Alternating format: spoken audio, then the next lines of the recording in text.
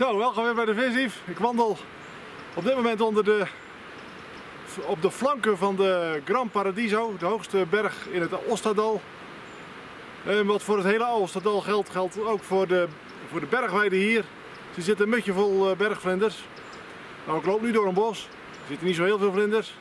Maar kom ik op een bergweide waar eh, die vol staat met bloemen, dan kan ik daar eens even flink uh, vlinders filmen. En ik hoop natuurlijk op bijzondere blauwtjes die ik in de andere dalen hier nog niet heb gefilmd. Zo, uh, daarnet stond ik op de parkeerplaats en ehm, daar waar het wat vochtiger was, daar zag ik al verschillende soorten blauwtjes naar mineralen zoeken. Ik ehm, ga weer verder en ik hoop straks nog meer te kunnen laten zien. Wow, dat is heel jong.